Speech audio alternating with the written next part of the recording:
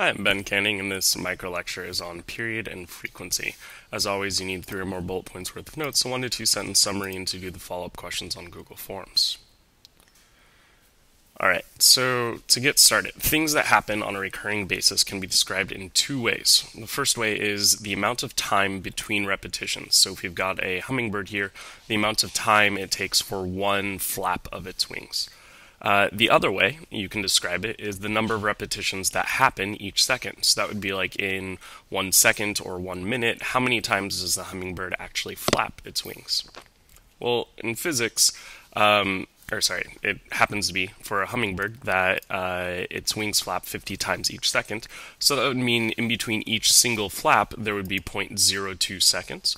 Or you could say that there is a repetition of 50 uh, flaps each second, or 50 times per second.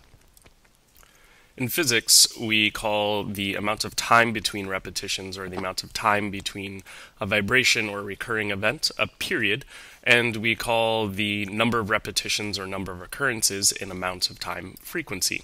So they're very much related. In fact, they're the inverses of each other, which is what we'll realize later. So we can use this terminology to describe waves along with anything else that repeats. So waves at a beach, we can talk about them coming in once every 10 seconds. Um, so that would be the period, or in a span of a minute, five times per minute.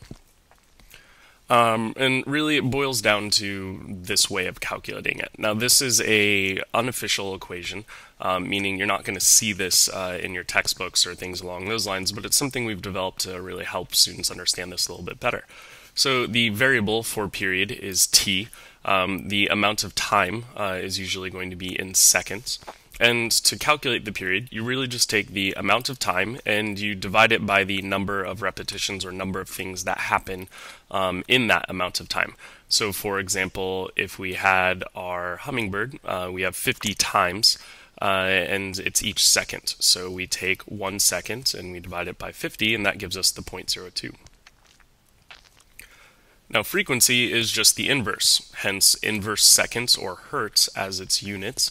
The variable is this italicized or cursive f, and we just take the number of repetitions divided by the time, and that gives us the number of things per a second or per a minute. Now, like I said, they're the inverse of each other, so frequency is just 1 over the period, and period is just 1 over the frequency. So if you know one of these things, you know them both. That's it. Three more bullet points worth of notes, one to two sentence summary, and follow up questions on Google Forms, please.